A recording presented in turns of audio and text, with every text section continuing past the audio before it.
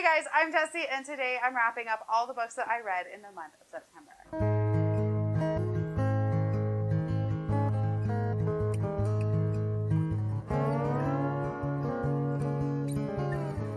September was a strange month.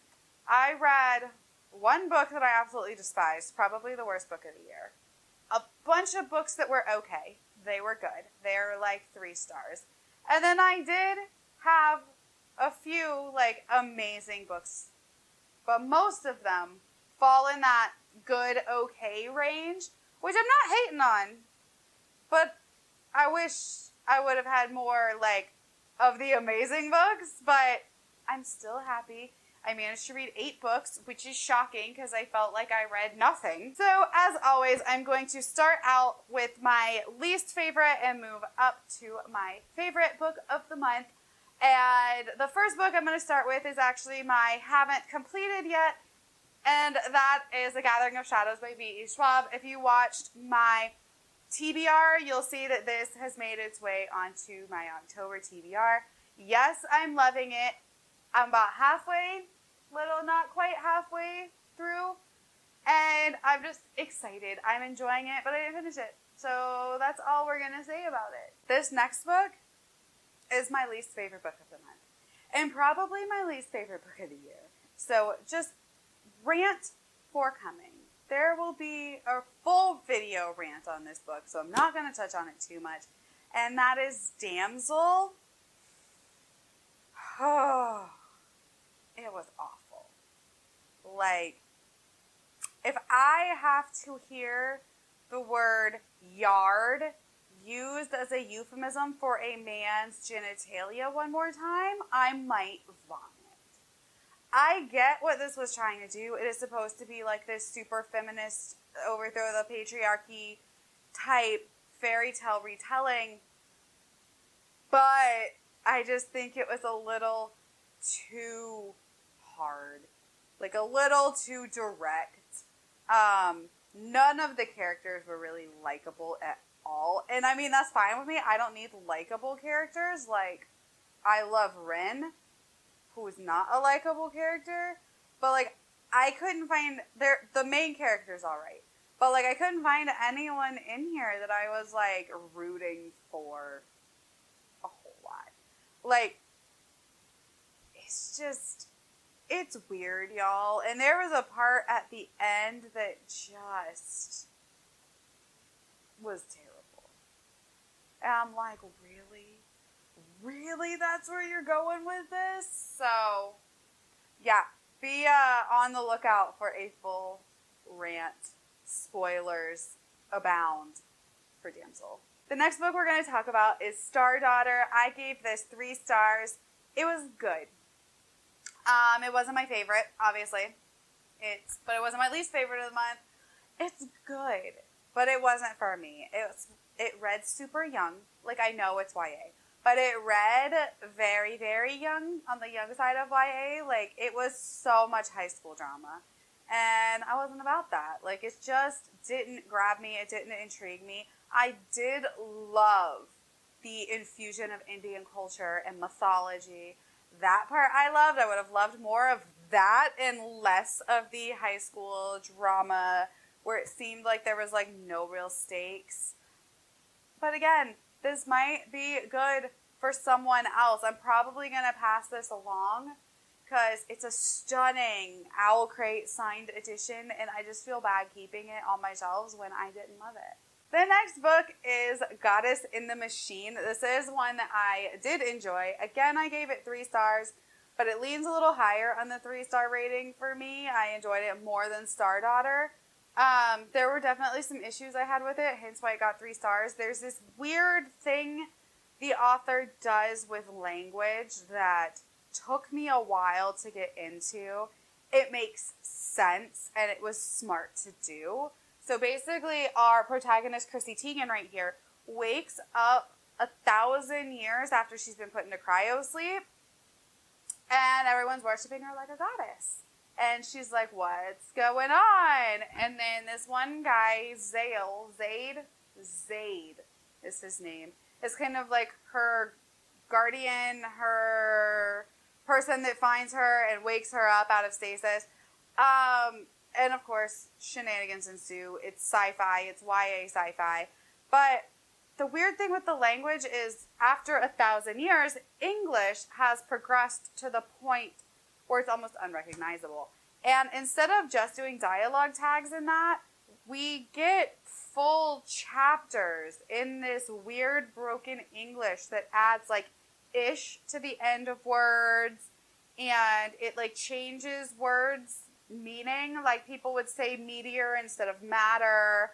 They would say like add ish to like final, so it's finalish. And it's just a little disorienting when it's like a whole chapter in a character's perspective written that way, not just the dialogue tags. So I wish it would have just been dialogue written that way, but I still liked the story. There was definitely like some twist that I was like, yeah, I got you. I saw that coming. And then there was like one or two that I'm like, oh, okay, cool. So this is the first book in a series. I will be picking up the second book whenever it comes out because I want to know what happens. All right, the next book on my list is Rage of Dragons. This was our shelf space book club for the month. And if you missed it, Jesse, May, and I did an entire live show talking about this. I will link it down below. It's uh, quite interesting. This is the book that split shelf space. It is the Civil War book that brought us to our knees and made us a house divided. About half of us loved it, and half of us did not. I fell on the higher end of the spectrum, so I am Team Iron Man on this. I I enjoyed it. Was it my favorite? No. I gave it a I think on Goodreads I gave it four stars, but it's definitely like a three and a half four, and it's the ending that made it for me. Like the majority of the way through the book, I'm like, okay, it's okay, it's okay, it's okay. Like there's a bunch of stuff that annoyed me. But I really enjoyed the ending of this. Um, and I will be picking up the second book. I'm excited to read the second book. I will not be picking it up like right away and prioritizing it as soon as it comes out. But I will pick it up and read it, if that makes any kind of sense. Like, I like it, but it's not a new favorite it's definitely a very heavy on the revenge revenge tale. Like it is all revenge, not any bit more. Like it's revenge. At the very end, we start seeing like bigger overarching plot lines. Um, but yeah, if you want to see a really good review of this book, I will link Allen's review from the Library of Alexandria. He hated it and I will link his review down below, and then I will link another review where it talks glowingly of it, so you can see both perspectives. The next book that I got to is Supernova by Marissa Meyer. This was the conclusion of the Renegades trilogy, and I gave this again a like three and a half stars. I liked it. There was a lot of stuff that I would have done differently, but I liked it. Um, the ending I wasn't as thrilled with because I liked how it ended and then there was an epilogue. And the epilogue leads me to believe there's going to be more in this series. But like there's not that we know of at least. So yeah, I want to know. Like that epilogue killed kind of brought down my rating a bit. I also felt like stakes while they seemed high at the time like a lot of things that happened were erased. So a lot of the negative things that happened to some of our characters, some of the sacrifices they made were were undone and were erased. And that kind of bothers me. Like I like when a sacrifice is made for that sacrifice to be permanent. If that makes sense. Are you like that too? Like, you want to see the sacrifice be permanent, not, oh, I did this, but like, it's okay because like you're going to get whatever it is back or fixed or resurrected or whatever in like a couple pages. That part bothered me, but I did enjoy it. I love our characters. This was a fun read. The whole series was really good and I really enjoyed it. So if you want to pick up the Renegade series, I highly recommend it. The second book was my favorite in the series, surprisingly. So take that as you will. It goes two, one, three as far as my ranking of the series. The next one I picked up was Saga Volume 1. I gave this five stars. I loved it. I read it on Kindle Unlimited and I'm going to start volume two here soon. I really want to pick it up in its physical form because I think that is the best way to enjoy a graphic novel is in a physical form. But the fact that it was on Kindle Unlimited, I just needed something quick to read. Um, the only issue I had was I was reading it like a gymnastics practice, and it's not a uh, a book you want to read in public. There's some scenes that are a little graphic and if you're just like swiping through and like, you know, somebody walks beside you and then they happen to look down, it's really embarrassing because if you've read volume one of Saga, you know. But I loved the story. I love the very Romeo and Juliet esque aspects of it from this two like different people who come from different worlds who are supposed to hate each other and they're supposed to be fighting but they fall in love and then they have a baby and then the whole galaxy is basically out to kill them and take their baby.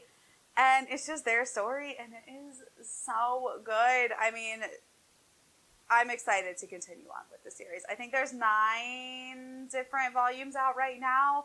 Um, it's not completed that i know of but i'm excited to, to keep on with it. The next book i want to talk about is where dreams descend this again was a five star book for me. I loved every second in it. This is like a YA fantasy, and it gave me super heavy greatest showman vibes, and I was living for it. Our main character is a female magician in a world where females aren't really viewed as being able to be stage magicians.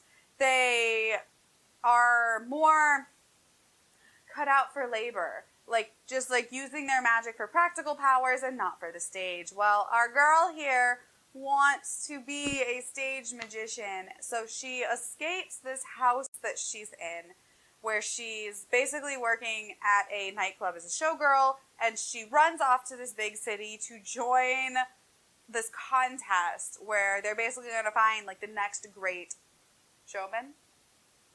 But of course, we hit a lot of obstacles in the road because she's like the only girl in this competition and she's trying to prove herself. And then we have DeMarco, who is one of the judges, who's a former magician. He's a little bit older than her, not much. And he is our sweet cinnamon roll type love interest guy. And I just love everything about him. He is fantastic. He made this story for me. He is our Zac Efron character and our main girl is definitely our Zendaya character. And if that tells you anything, then pick it up. I'm so stoked for the second book to come out. I believe it comes out next year in June. So I will be on the lookout for it. And I really hope that Owl Crate does like a pretty edition so I can keep them the same because this is gorgeous. And the last book that I picked up, my favorite book of the month is Stone Sky by N.K. Jemisin. This is the conclusion to the Broken Earth trilogy. If y'all have been hanging around, you know I loved the Broken Earth trilogy. It was fantastic. Such an amazing story. Gut wrenching, heartbreaking. Like it hit every emotion that I had, and I felt everything so deeply. I cried. I related so much to our main character, Essun. She is a mom who just will do absolutely anything in the world for her children, no matter how much it hurts her or anyone else around her, basically. Like, she's going to do what she believes is right for her kids, even if it's not actually the right thing to do. But she means well and has a good heart. And basically, this just let picks up right where we left off in Obelisk Gate. I'm not going to give any spoilers. I will do an entire trilogy talk where I discuss the whole thing in spoilers if you would like. I just think that would be really fun to just gush about it. But yeah, the series is fantastic. It's weird, but it's fantastic, and I highly recommend you pick this up. The series itself starts off with the end of the world. And these ends of the world happen often. People are like, oh, it's a season. It's a fifth season. Hence the name of the first book. Because, you know, you have four seasons and then the end of the world is a fifth season. And they're, everyone's prepared for them. It's this weird, like, dystopian society. And our main character, Essun, is a mom just living in a village, living her life with her children. And she finds her son, who is like four years old, three years old, beaten to death by her husband, and her daughter and husband have disappeared. And it kind of ensues from there. She is what they call an orogeny, which is somebody that can control like the movements of Earth, the plates, and the tectonics.